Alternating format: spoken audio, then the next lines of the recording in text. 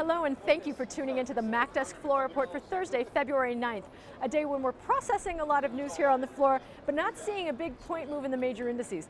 This is a little surprising given the raft of headlines we've seen this morning. Now we came into the pre-market on a hot, hot China CPI number for January, which showed an increase of 4.5%. Analysts by and large were looking for a 4% increase, uh, although the overage may have been due to some seasonality in that number.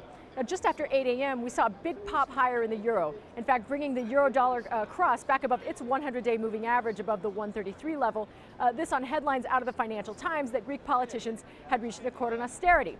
Uh, this gave some support to the futures, and we were able to add to those gains at the bottom of the hour when the weekly U.S. jobless claims number came in a little better than expected. In fact, the four-week moving average for weekly jobless claims is at its lowest level in nearly four years now.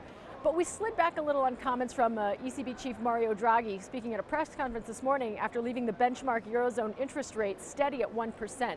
Draghi's assessment of the state of the European economy was a little bleak, uh, but not bleak enough to warrant additional policy accommodation, saying that the economic outlook remains subject to high uncertainty and downside risks, but that the Eurozone will likely to continue to recover very, very slowly over the course of the year. Now, the latest round of earnings here on U.S. shores have been generally very strong, although this isn't patching through to a lot of price movement on the major indices. We're selling a little bit on the news, and we're down actually 14 points in the Dow right now. Uh, the volatility index has crept up about 1% at 1833, and among the option movers we're watching today is ticker FXI, the FTSE China 25 Index Fund. This ETF has a strong sector allocation to Chinese financial companies and is trading a little lower, just below the $40 level today. Uh, implied volatility in the fund is at a six-month low right now, which means that options are relatively cheap to buy, and investors have been taking that as a cue to buy puts in the front month, April, and January 2013 contracts, looking for a retracement of around 10% by next January.